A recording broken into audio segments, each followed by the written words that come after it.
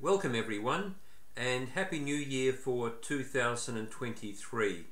On the last business day of December, I received this very welcome letter from Zaw Lin, who, as you know, is one of the two Koh Tao murder scapegoats who was convicted on very dodgy DNA evidence. And I'll share it with you now. It reads uh, Dear Ian Yarwood, How are you? I hope you are in good health and everything is fine with you. I got your letters dated the 27th of October 2022 and the 28th of October 2022 and the 9th of November 2022 and I also got two more postcards dated the 26th of October 2022 and the another one was dated the 4th of November 2022.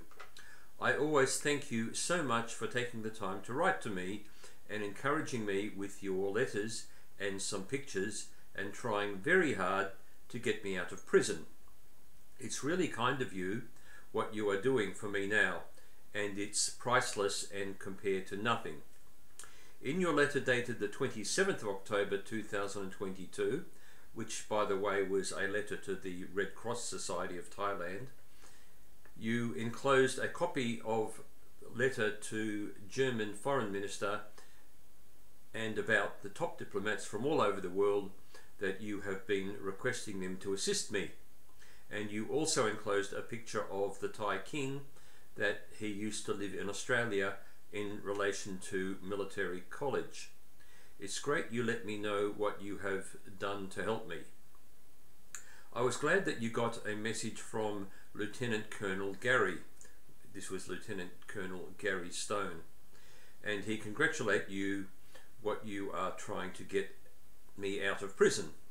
I was also glad to hear the good news from you that Ambassador of Switzerland to Australia named Caroline, she has reported about my situation to the Swiss government in Bern, Switzerland. So it was really kind of her sent information about me to her government.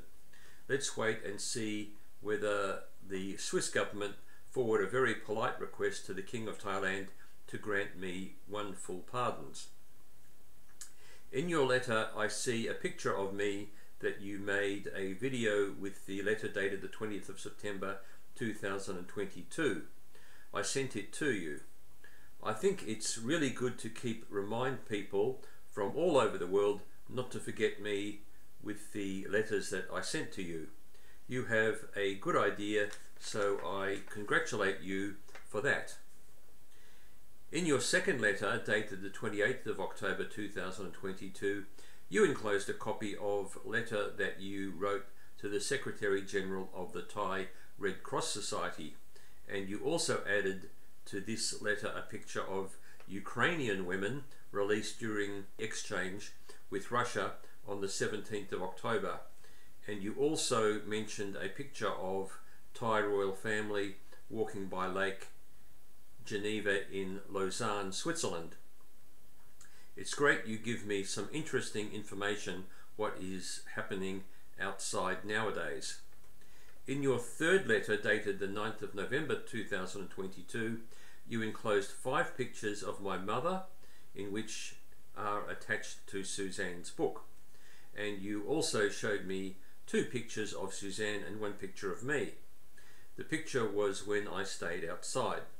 I think it's nice that some of my mum's pictures are attached to Suzanne's book and I also think the people who read the book and look at my mum's pictures will pity her and one day someone will come forward to help me and get me out of prison. It's really great that you are keeping asking important people from all over the world to help me by requesting that they make polite requests to His Majesty to grant me full pardons. I highly request that you not to give up asking important people from all over the world whether they forward or not. It's up to them, but I believe they will discuss to each other about my situation. I thank you so much for your songs that you put in each envelopes for me when you send letter to me. And I also special thank you for the four Myanmar songs that you put for me in the last envelope. So now I have something to have fun with some of my friends, although I am under the circumstance. I send you all my best thoughts. Take care of yourself. Happy New Year. Sincerely, Zaw Lin.